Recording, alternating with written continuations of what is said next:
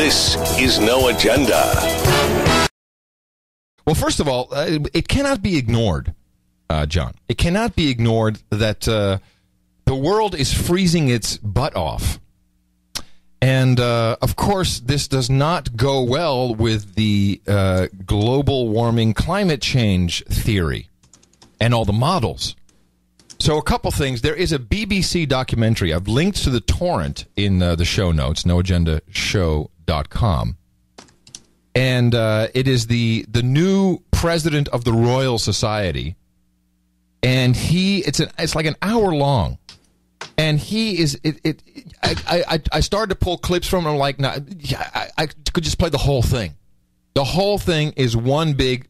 You're a denier, and you deserve to die because you're a denier. Are you crazy?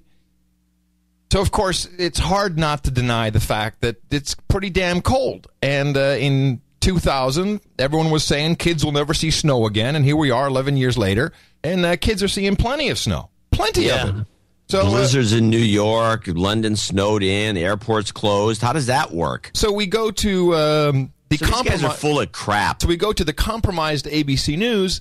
Uh, Diane Sawyer uh, tosses to Sam Champion, who uh, is, whenever there's something to be communicated, like the new Madrid fault, or which I also have some news on, or the reason behind this incredible uh, reversal of fortune we have. We thought we were going to have beachfront property, nice and warm. Now we're freezing our ass off.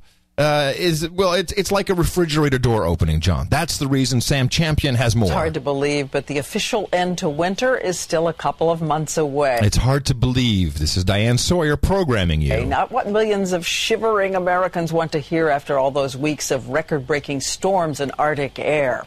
But while it may be cold comfort, experts now have some intriguing theories about what has been going on. And here's our ABC weather, weather editor, Sam Champion. So very interesting. Listen to all the words that are being used: theories, uh, hypotheses, experts. Um, this would fall under the category of. Science! The science is in! So we have to give you an explanation because you know even regular folks who don't think about stuff are going, "Hey, when it's supposed to be warm, uh, I'm gonna ask Sam Champion about that."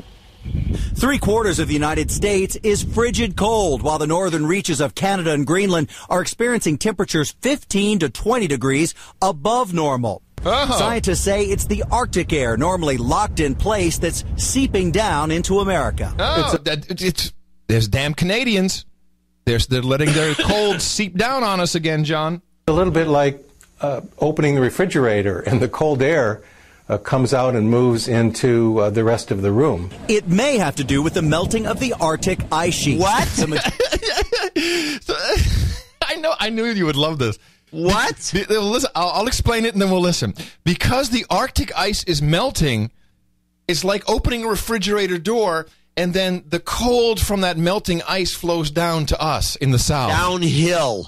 That's all. Yeah, it's downhill. It goes from north to south, from top to bottom. The science is in! Science!